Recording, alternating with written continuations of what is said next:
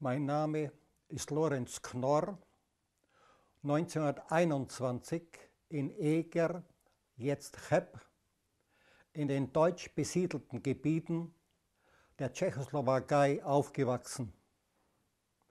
Erlernter Beruf, Schriftsetzer und Buchdrucker, nach 1945 tätig in der sozialistischen Jugend als Landes- und als Bundessekretär 25 Jahre lang an der Spitze der Deutschen Friedensunion und dann Bundessprecher der Vereinigung der Verfolgten des Naziregimes.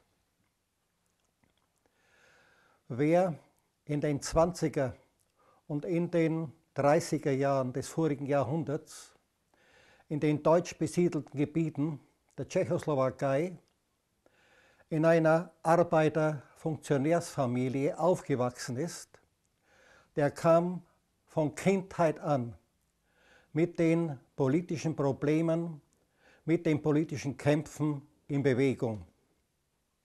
Mein Vater war vor dem Ersten Weltkrieg der bekannteste Streikführer in Eger und nach dem Ersten Weltkrieg war er, obwohl nicht mehr arbeitstauglich, immer noch ein Redner auf Gewerkschaftskundgebungen und Versammlungen und das erlebte der Sohn natürlich mit, denn oft nahmen ihn die Eltern mit zu politischen Veranstaltungen, besonders natürlich am 1. Mai oder an anderen Festtagen der Arbeiterbewegung.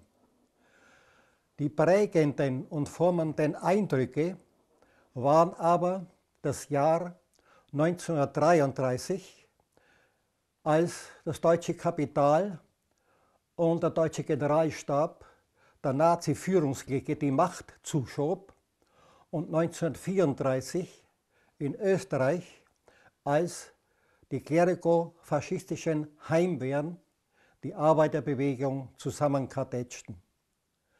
Nach unserem Verständnis, dass die Entwicklung der Menschheit von niederen Formen des Zusammenlebens zu immer höheren Formen des Zusammenlebens geht, war das natürlich ein gewaltiger Rückschlag, denn die deutsche Arbeiterbewegung war die stärkste in der ersten Internationale und die ideologisch gefestigste.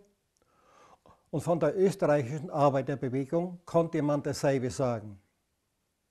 Wir erfuhren bei uns durch die Emigranten nicht nur die schrecklichen Schicksale der Antifaschisten, sondern wir erlebten auch die internationalen Wirkungen dessen, was mit dem zivilisatorischen Rückfall 1933 geschah.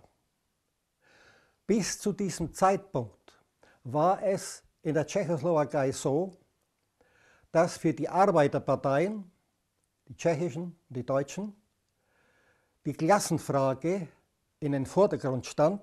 Das heißt, der Kampf um bessere materielle und kulturelle Lebensbedingungen. 1933 hörte das natürlich nicht auf. Aber je mehr sich die Nazis, die Hitler-Anhänger, in den deutschen Gebieten der Tschechoslowakei entfalteten, umso mehr kam es zu einer neuen politischen Frontstellung auf der einen Seite die zunehmend, zunehmend aggressiver werdenden Hitler-Anhänger in den deutschen Gebieten der Tschechoslowakei, auf der anderen Seite die deutschen und die tschechischen Antifaschisten. Es ist also nicht so, wie jetzt oft behauptet wird, es ständen sich die Deutschen und die Tschechen gegenüber.